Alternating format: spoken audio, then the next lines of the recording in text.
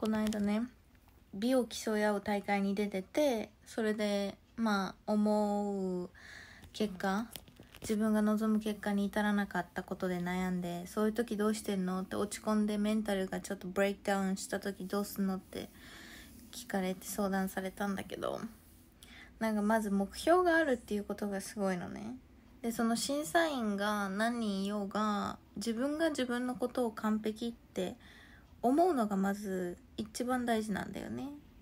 自分自身が自分のこと完全に完璧だってもうこの上ないな私っていうかこれを永遠にキープしようって思う力モチベーションを保ちつつずっと生活し続けるっていうことが一番大事でそしたら他の人の意見なんて別にどうでもよくなるんだよね。だからうん。そう。それでさ私が言ったのは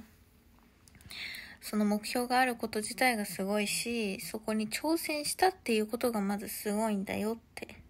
何にも自分の美に追求しないで何にも自分に興味がなくて鏡も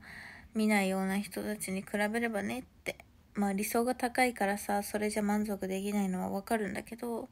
でも今まで成し遂げてきたことっていうのを振り返ってみたら私結構頑張ってきたなって。自分のことを自分で褒めないと絶対周りの人からは褒められないし自分のことを大切にしないと周りの人からも大切にされないし自分のことを愛さなければ人からは愛されません。単純です。This life is simple. So, yeah. それを伝えたかったと。うーん